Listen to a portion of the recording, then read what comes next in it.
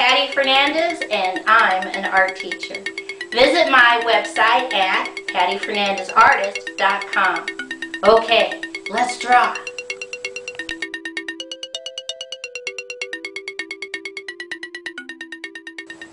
Today's project is how to draw a caterpillar. I'm going to take one finger down here at the bottom and I'm going to put a dot. And from that dot, I'm going to draw a circle.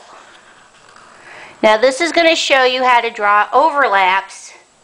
So starting right up here at the top, I'm going to draw a curved line over, connect.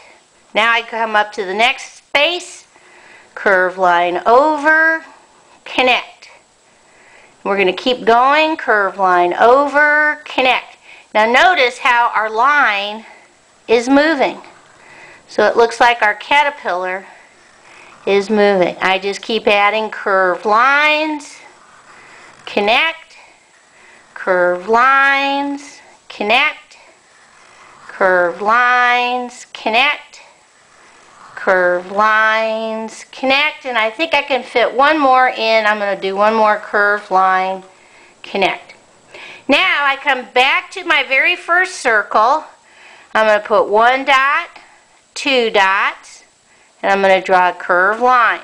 Little curved line on the right, little curved line on the left.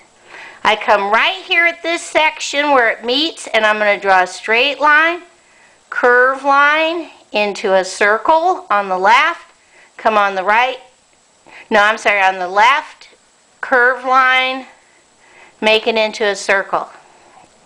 Come down to the bottom, draw one straight line on the left, one straight line on the right, and now I'm going to draw a little curved line, straight line, curved line, connect on the left, and a little curved line, straight line, curved line, connect.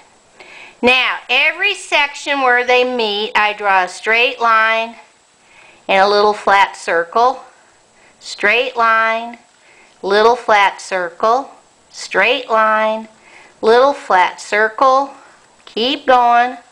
Every place where the circles meet, the overlaps meet, straight line, little flat circle, straight line, little flat circle, straight line, little flat circle. Okay, the last thing we're going to do is put some little straight lines across the top of his head and little straight lines all the way across the top of all these overlapping circles. Keep going, keep going, keep going, all the way. And there we have it all the way down and around. Okay, let's see how we're going to color this in.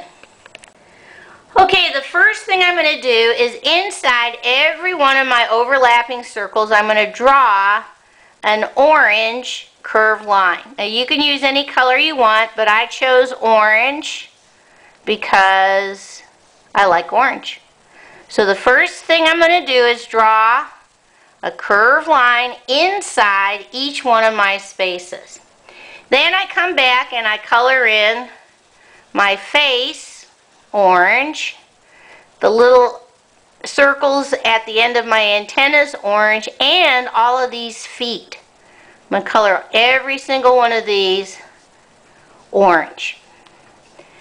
Once I've done that, on the top side, no, the bottom side, I'm going to do every single section yellow all the way. Keep going, keep going. And of course you'll color this in a lot better than I am right now. And on the tippy top, I'm going to do black. So now we color all of this in black. Keep going, keep going, keep going. Okay, let's see what it looks like all colored in. Here's my caterpillar all colored in, ready to go for a walk in the garden. Okay, bye-bye.